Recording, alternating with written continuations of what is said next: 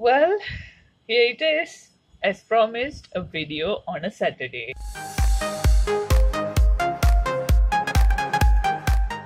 Hi guys, it feels great to see y'all again on my channel on a Saturday.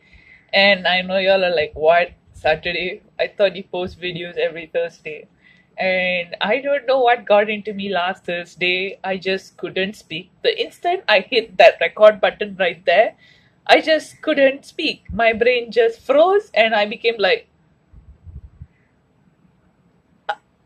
that was literally how I was on Thursday. But anyway, as pro as I promised you guys, there's a video on Saturday, and here it is video. I hope you all enjoy it. As per usual, this video is gonna be straight from my heart, and this video is actually unscripted, and it was inspired of a Facebook post. And yes, I get inspired from Facebook posts. Actually posted that video on my Facebook page. The links are in the description. If you haven't watched it, go to the page, watch that video and watch how I got the idea for this video. Now guys, how many times in your life have you encountered someone and you would have to tell them something bad? Like a criticism about themselves that you think will really hurt them and it would send them down the dunes and just stop whatever they are doing. I'm very sure you all have come across this at least once in your life. And when that happens, most of the time we all screw up and we go up to this person and we straight up tell them, hey, listen, you are not cut out to do this at all. You should just stop. I don't think that this is suitable for you. I think you should just stop. I have encountered this many times before when I do make videos from my channel, and people come up to me like, Hey, I think you're trying too hard. And they literally tell me that to my face without thinking. I still make videos because people are entitled to their opinions. And as what I said earlier, the world nowadays works that way. They believe that every single time they have to say something whenever somebody puts up content or whenever somebody posts something on Facebook, Twitter, or Instagram.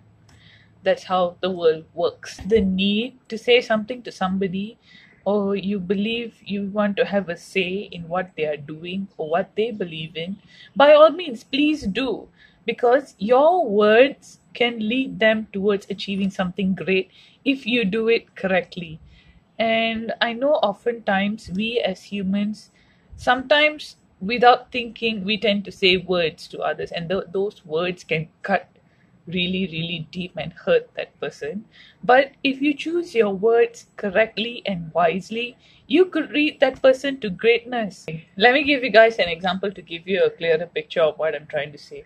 It's actually a true story and it is an episode from the life of Thomas Edison.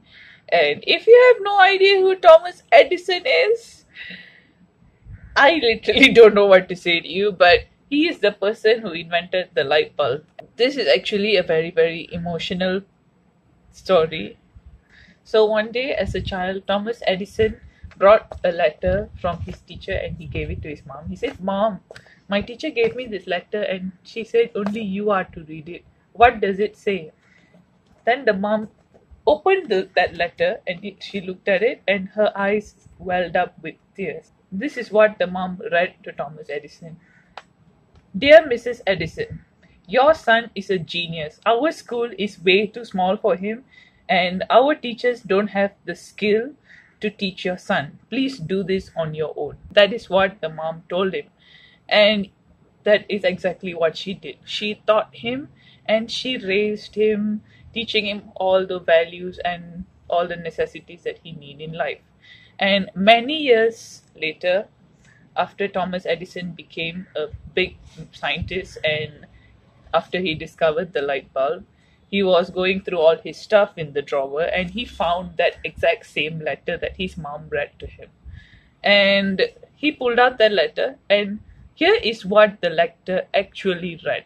It says, Dear Mrs. Edison, your son is mentally deficient and we can't teach him anymore. He doesn't belong in this school. Please teach him on your own. He is expelled. Now, I want you guys to think about it. Do you think if his mom read read that letter exactly what is written on it, do you think Thomas Edison would be as great as what he is today? He was a child, and whatever you tell a child, he would definitely believe it and he would definitely be like, you know what? I'm not even going to bother doing whatever I'm doing. I'm not going to do anything. I'm just going to give up. He would have been very broken if his mom had read whatever that was written on that letter. Do you feel that if you have the need to tell something to someone, please do it in a positive manner. If whatever words that you say to someone can impact their lives greatly. Like you look at Thomas Edison. Think about it, guys, okay?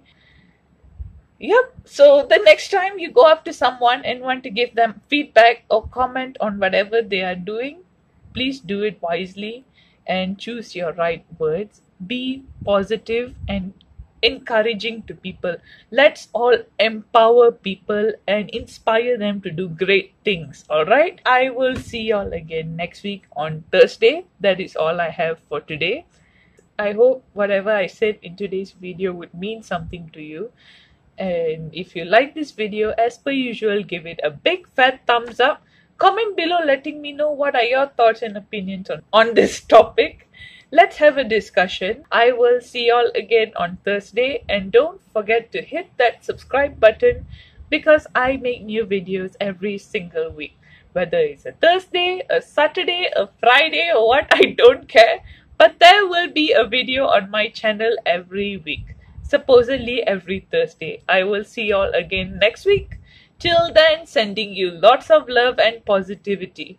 I love you all so much. Head for some time and I thought what better time than do it this week. If we are often thrown off by problems and challenges and that is an undeniable fact. No matter what we do, problems and worries are something we can never run away from. They are what makes us stronger and more mature and we learn a lot of lessons from problems.